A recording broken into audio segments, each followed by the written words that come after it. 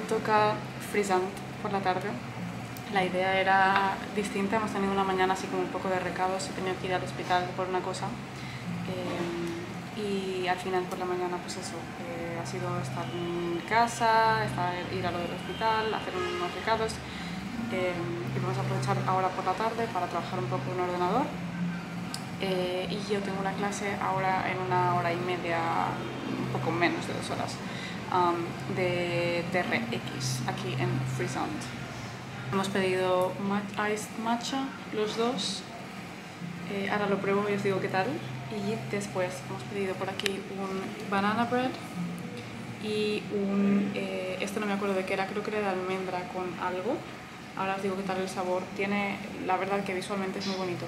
Eh, el de banana bread sí que os lo recomiendo muchísimo porque es el de Funky Bakers, que es una para mí de las mejores pastelería, panadería, tiene así como todo, un poco de todo, y cafetería, y brunch de Barcelona, uno de los mejores.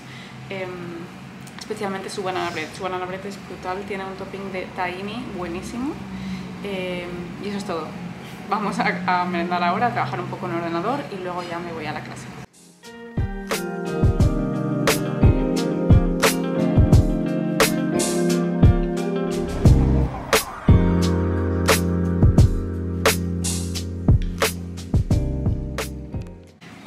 Ahora que ya he hecho test, test de... Hablo un poquito porque hay más gente. em, de lo que hemos pedido. El matcha, por lo menos iced, no os lo recomiendo. Eh, lo he hecho bien, lo he preparado bien porque lo he visto y tenía buena pinta, pero sabe como muy fuerte, muy amargo. Y estoy acostumbrada a diferentes tipos de matcha, me suelen gustar todos. Eh, quizás esté dependiendo de la leche, no sé qué tipo de matcha usarán aquí. Este especialmente no os lo recomiendo, sí que es verdad que el café lo hacen buenísimo y que las otras cosas que he probado sí que están buenas. Esto en específico no, no recuerdo haberlo pedido caliente, creo que sí, y me gustaba. Eh, quizás es la versión ice lo que no me ha convencido, sí, está, tiene un sabor raro. Eh, banana bread brutal y el otro no sabemos muy bien de qué es, no me acuerdo cómo os decía, pero creo, Naranja seguro. eh, creo que es como de almendra y naranja. Pero bueno, por la vista, si venís ya sabéis cuál es. Es que el otro que tenían era de, me parece que de limón y espinacas y no nos ha convencido mucho la, la combinación.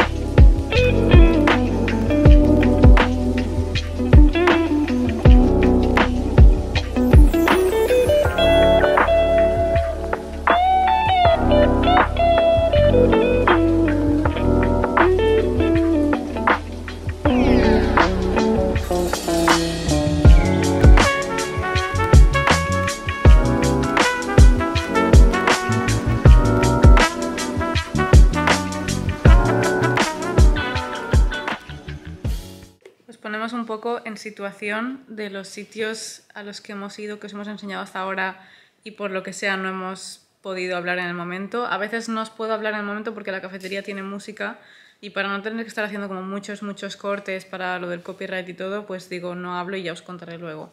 Por cierto, nuevas uñas que me las hice ayer. A ver si enfoca. Aquí. Eh, eh, eso, estuvimos en eh, Frisant, donde sí os hablé. Luego el siguiente que sale en el vídeo es... ¿Brew Coffee? No, Brew Coffee es el último. Luego creo que el siguiente que sale en el vídeo es... ¿Rao? No, vale. esta Ulat 44 Eso. que fuimos a desayunar con mi padre. Nos encanta esa cafetería, es de los mismos dueños que la papa, pero está muy lejos al menos para nosotros y por eso no vamos mucho, porque nos queda como mal Mucho ruido a veces. también mucho ruido a ratos, porque obvio entra mucha gente y es una calle como entre semanas sobre todo transitada por coches, pero mm, eh, nos gusta mucho, no vamos mucho porque no nos queda muy cerca o como muy de camino a nada y, y tal. Pero mm, la cafetería es muy estética, la comida buenísima. Luego sí que os enseñé Rao Studio, no es porque la dueña sea amiga mía, pero es de las mejores cafeterías de Barcelona. También mucho ruido a veces, es una cafetería pequeña, se llena mucho, Muy entonces rápido. hay, hay ratos en los que hay mucho ruido, hay ratos en los que se está súper bien. Depende de la hora, depende del día. Así que lo tengáis en cuenta. Que, Si vais a primera hora está a tope. Sí, pensamos que yendo a... Es horas 10. Ah, pensando, pensamos que yendo sobre las 9 no estaría muy llena, al contrario, estaba llenísima y sobre las 10 es cuando se vació y estaba la cosa más tranquila. Eh, eso, no es porque sea mi amiga, pero la cafetería es de las mejores de Barcelona. Siguiente en el vídeo, eh, yo creo que ya era Brew, Brew Coffee, la mejor cafetería Brew- 2023. de los Coffee Awards que fuimos en otro blog. Eh, buenísimo café, buenísimo matcha, buenísimo Todo. chai, buenísimo todo. Son muy majos. Muy majos. Y es- tienen dos en Barcelona, pero la que vamos siempre es la de Urquinaona. Hmm. tienen otra en Paseo San Juan. La de Urquinaona es la más nueva. Yo eso no y sabía. la que está mejor es como más moderna, el sitio. Y hay un perro súper bonito. Y hay un perro siempre que es de los... Desde los no, del- Es de un amigo, Es de ¿no? un O de chico... un tra- Uno que va, de un cliente. Sí, desde un cliente que siempre está ahí, entonces siempre está con el perro. Pero siempre es siempre. Sí, y es una perrita muy mona que se llama Kira y siempre está ahí. Eh, y eso es todo, creo, de momento los, las cafeterías que hemos ido. Eh, lo que vamos a incluir en este blog son cafeterías de las favoritas que tenemos en Barcelona y algunas nuevas que todavía no hemos probado, así como tipo primera impresión. Y así os hacemos un poco un mix. Ruta. Sí, una ruta un poco mix de todo.